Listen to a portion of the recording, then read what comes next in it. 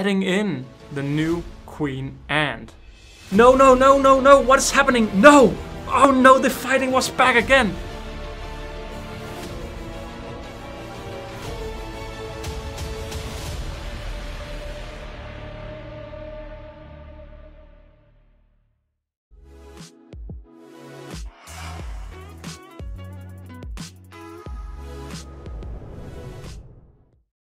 The Harpegnathos venator ant colony surprised me and immediately took my heart. But as quickly as I fell in love with this awesome species, I saw that the most important member of the colony, the queen, was dead upon arrival. This left me with a truly terrible feeling.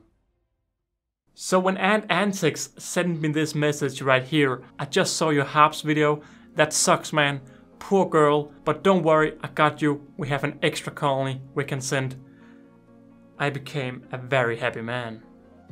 With a big thank you to Ant Antics, I was suddenly looking at a brand new ant colony with so many thoughts in my head. How was I gonna merge this colony? Should I merge this colony? Luckily, I had already planned a merging plan. Now it's very important to know that not all colonies can be merged together. I didn't know that Harpegnathos could be merged until my last video and I read the comments section together with talking with a few clever people who all pointed in a way of you should be able to merge them. There was only one way to test, by adding in one worker. But before we could add the worker, we needed to go into the test tube and grab a worker. Luckily these ants are very aggressive and it wasn't hard at all to get one out. But I would be lying if I said I wasn't nervous. I know these ants can jump and they sting and they are aggressive. So I knew I just had to take my tweezers towards her and she grabbed on and I was able to put her in the outworld of my main colony. Oh man, this really did not feel right sending an ant into a potential death trap. Definitely not a good feeling. She walked around wondering where to go. What was this new place and did she really sense another ant colony? Faster than I was prepared, she ran straight into the nest. But as I was ready to record her, a roach or something spooked her and she was suddenly reversing into the nest. But it did not take long before the workers from the nest sensed that something was wrong. A worker was slowly starting to walk towards the exit of the nest. Suddenly they were very close to each other and I held my breath as the first worker walked straight towards the new girl. Phew, first touch looked good. The new worker didn't even seem to sense that there was a worker behind her. But that didn't last long as she turned around and in a hunting manner she walked straight into the nest after the other workers. No, no, no girls, don't fight. In a state of confusion, the new girl turned and left the nest again. A minute later, she once more returned with some tense eye contact with the other worker. My heart was in my throat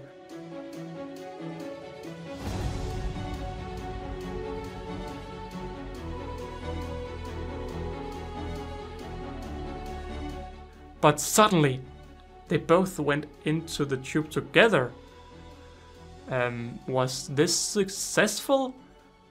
I don't know. I mean, on one hand, there was no aggression shown, but on the other hand, was I ready to risk the life of another worker? I mean, I guess so, because they didn't attack each other.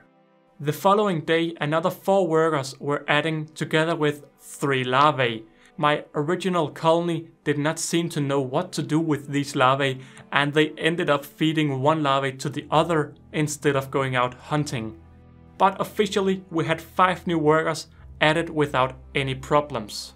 Together with the viewers of my livestream on my extra channel and Oliver Extra, we all decided to add in the test tube with the remaining workers and the new queen. What had I just done? Would this be the death of my new colony? Well, only time will tell. As I removed the cotton, a worker immediately rushed out from the test tube. How would the different workers now react if they met multiple workers outside? Well, as the day went on, I saw one by one worker entering the nest without any problems. Had it all been successful? Well, I hoped so, and by night, I got the chance to remove the test tube in the outworld. And with that being said, I went to bed thinking that everything was successful.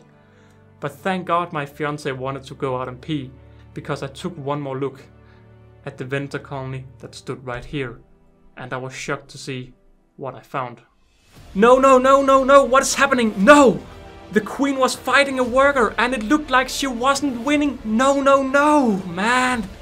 I started panicking and sweating and I really didn't know what to do. Was I about to open this nest and let all of the workers get out to rescue this one queen? Oh, man, I didn't know what to do. I felt my heart was beating and I just looked at these workers killing each other and I mean, I no, I could not risk the life of this queen. I had to get in there. So I took my Allen key out and prepared myself to unscrew the nest.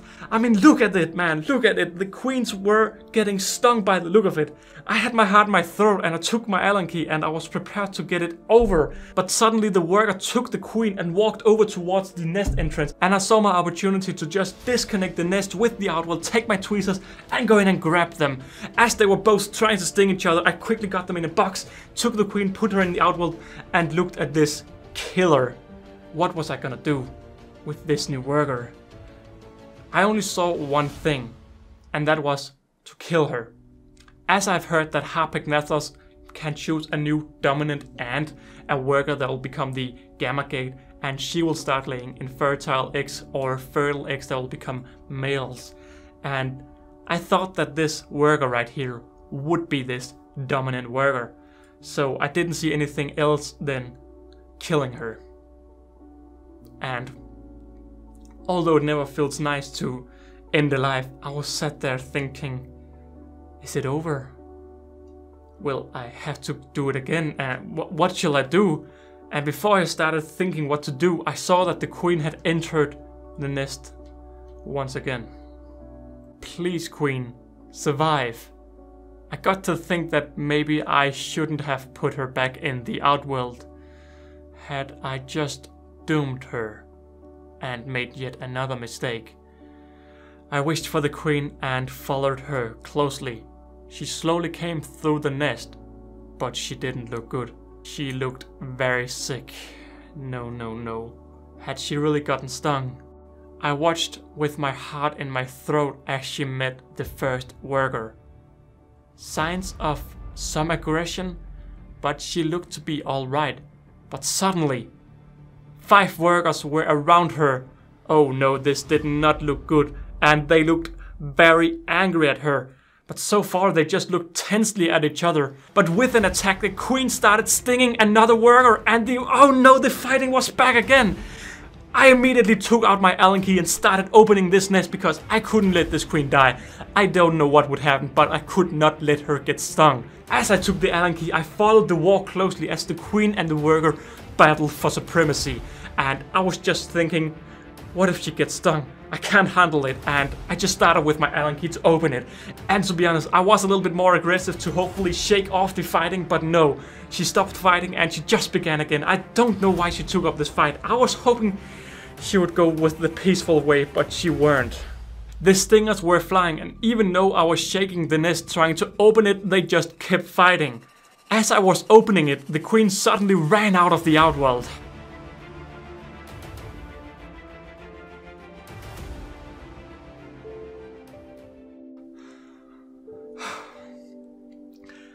And I could get some breathing again and I just closed off the entrance of the nest. I could not let this queen go in there again. Not only would I risk the life of the queen, but I couldn't stand commenting to Ant Antic saying the queen didn't make it because I was dumb. No. No, no, no. So I grabbed the test tube and I put her in the test tube, closed the test tube, and prayed that she hadn't gotten stung. And I went in and went to bed again. The next morning, I looked at the queen once again. she had made it, still looking straight into my soul. Ah, what a relief. she had made it through the night, and with this in my mind, I had a new plan ready to start. One thing I knew for sure was I needed to get the two larvae back. Not only that, I also needed some workers. I wouldn't dare add the queen again, but I sure wasn't gonna let her found all over either. Man, if I just hadn't merged them together, I would just have had a colony with 15 workers or so, but now I had to open the nest filled with Harpegnathos workers. You can think about it all that you want, but I had a new plan and I already knew I needed the larvae, and the only way was to get inside. Although I did not like the thought of this, it was the plan. Opening the nest and the ants were quick to run out and get around my little box. By the way, I made like a little plastic box that they couldn't escape, so on that behalf I could pick a little bit around with them. My plan was simple, simply rescue the gypsum block and move it into a new nest. But as I tried grabbing the gypsum block, it was a lot more stuck than I initially expected. With the thing of a jumping ant suddenly stinging me, I kept trying to go in and remove the gypsum block and no! Suddenly the middle was broken. I was not gonna stop. I had to get this block out because I simply did not have a spare one, so I went in again and tried getting it out. Suddenly the gypsum block holder got loose and I was able to go in and get the block out. With the fear of getting stung, I relocated the block into the smaller nest and afterwards removing the workers who were still in the nest. And with that, I now had a new nest only with a few larvae inside. Now, as I didn't know if they were gonna go out and hunt or what would happen, I decided to add a little pre-killed roach straight next to the larvae, because that way I hoped they wouldn't eat each other and they would eat on this roach. And then it was time for the queen. She wasn't too happy getting into the nest, but in my second try, I got her in and I was able to screw two of the screws down into the nest. Now the reason I didn't put all the other screws in were simply because I wanted to be able to get the lid off and get the queen out if anything were to happen. With the queen inside, it was time for something I really didn't like. It was time to once more add a worker. She was in and I looked in fear as the two met each other for the first time. The queen showed some aggression, but it looked like they accepted each other. I hold my breath with this small first success and decided to add in the second worker. Now this worker were a lot more aggressive and they both immediately started showing aggression towards each other. But they seemed to only acknowledge each other and not yet fight. Now with this I decided to wait a little bit before adding in the next worker as I wasn't sure a fight were gonna break out. And if a fight were to break out, I wanted to be able to rescue them. After around half an hour, I did decide to add the next worker inside. Unlike before, now it seemed like the queen was a bit relaxed and the new worker definitely wasn't happy with the new one coming in. And the worker attacked the other worker. No, no, no! Stop it! But think it was a confusion attack as she quickly stopped again. But with that in mind, I then added the next few workers over an hour and carefully watched them before adding in the next. Could this actually work? All I know is suddenly I was left with 5 workers and a queen all inside the nest with no real aggression towards each other. I decided to give them some peace and return a few hours later. As I returned, nothing had really happened by the looks of it, and I decided to put all the screws inside and lock the nest once again. Now this sadly was a very shaky experience as I had to put the screws in and everything and I think it triggered something in the queen. She suddenly lost her cool and attacked another worker. No, not again! Ah, oh, what do I do now? Do I unscrew the lid, go in and grab the worker, or do I leave them to fight? I was in a limbo stage and I just looked at them for a while. I followed the fight closely, but it seemed like it was a one-sided fight. I retook my breath as it seemed like it may be a dominant showing rather than an actual fight like yesterday. It didn't feel right, but as they fought inside the nest, I kept screwing the nest together, keeping a close eye on the queen's behavior. I found it weird that she was deliberately starting the fights. Didn't she know that this could kill her? Or maybe she just didn't care. This is really where you can see the primitiveness of this ant mind. And after following her, I'm sure that she was also the fight starter in all the fights yesterday.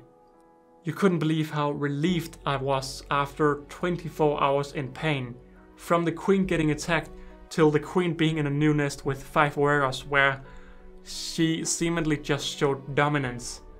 I finally took a big breather and calmed myself down. I knew that as the workers she kept biting and dragging around didn't fight back, she had a good chance of survival which was very nice for me to see. Now as I followed the queen fighting, suddenly something caught my eye.